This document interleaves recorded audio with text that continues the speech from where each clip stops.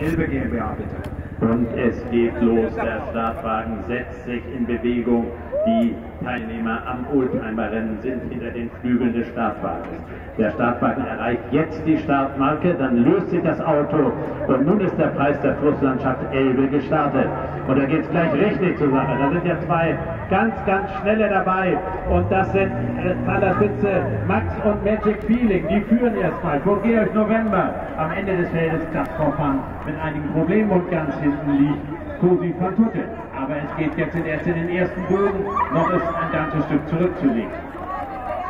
Ja, und im Boden galoppiert Magic Feeling an der Außenseite, ist auch nur schwer wieder Trab zu bekommen und so hat sich jetzt Max mit Malika Sieger einen deutlichen, deutlichen Vorsprung herausgelaufen.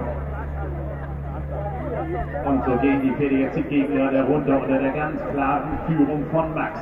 Mal sehen, ob er das durchhält. Max ist aber auch erst zwölf Jahre alt und seine Reiterin scheint sehr, sehr fleißig. Aber die Gegner kommen schon wieder näher. Das kann doch noch eine etwas spannendere Sache werden.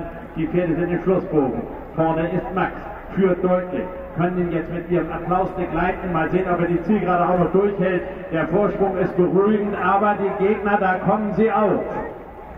Noch ist Max vorne mit Malika Sieger, aber da ist ein Gegner zur Stelle. Da kommt jetzt Georg November, Georg November galoppiert. Dadurch ist Max alleine vorne. Jetzt Max allein auf weiter Flur. Max, der Trab vom Start bis Ziel.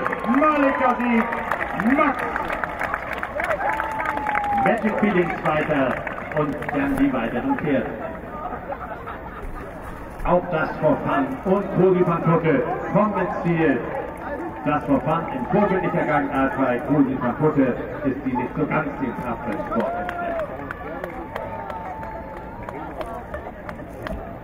Und wir rufen die Teilnehmer für das dritte Rennen zur Parade aufs Geläut.